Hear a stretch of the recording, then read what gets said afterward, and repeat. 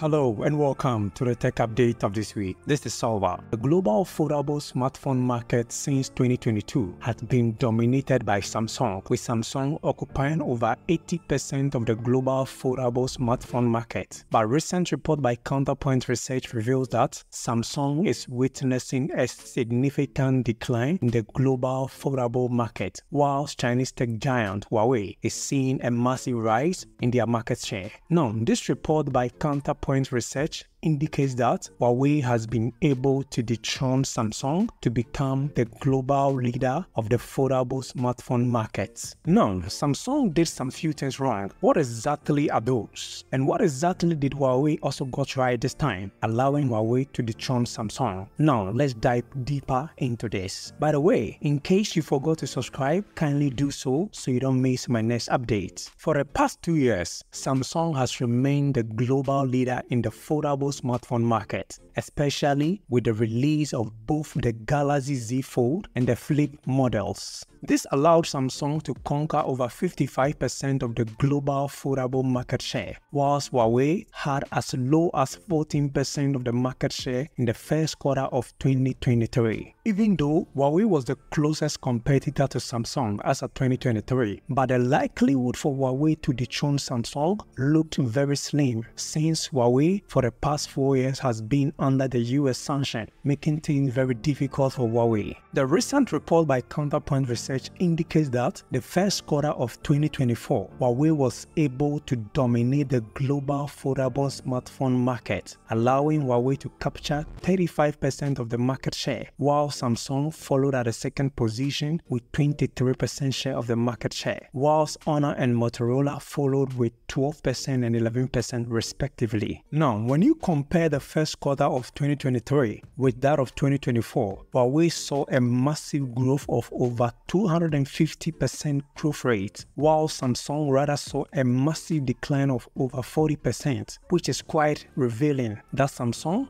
got something wrong this time. In the first quarter of 2024, Samsung is the only major brand who saw a massive decline in their sales volume, whilst brands such as Motorola saw the biggest growth ever in their foldable smartphone market sales. Now, let's dive deeper into what Huawei got right this time. Now, Huawei was able to overcome one of the biggest challenges faced in the area of 5G. You see, as a result of the US sanction, Huawei lost access to 5G chipsets. This forced Huawei to release foldable smartphones which lack 5G connectivity. This made foldable smartphones from Huawei less appealing to users for some time, but luckily Huawei was able to overcome this setback, allowing Huawei to bring back 5G connectivity to their device. With the release of the Mate X5, which had a 5G capability, Huawei was able to capture more sales.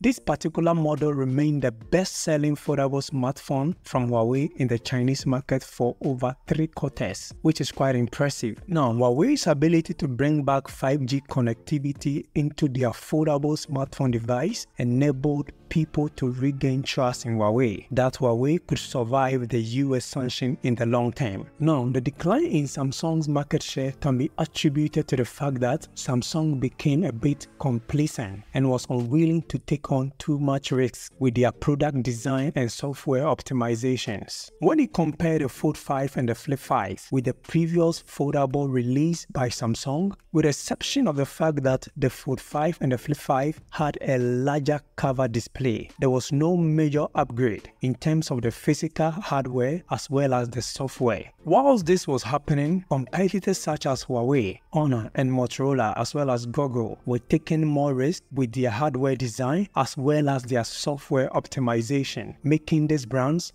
more appealing to users. This year, Samsung intends to release multiple foldable devices, that is, the Galaxy Z Fold 6 and the Z Flip 6, which is likely to be launched in July this year. Can this help Samsung to regain their lost market share? And can Huawei also maintain this new achievement? For now, Apple has not yet decided to join the foldable smartphone competition yet, but it is believed that they may join the race somewhere next year or in 2026. This has been your quick update for today. Kindly let me know your thoughts in the comment section. If you find this content informative, kindly don't forget to subscribe so you don't miss my next update. Peace out.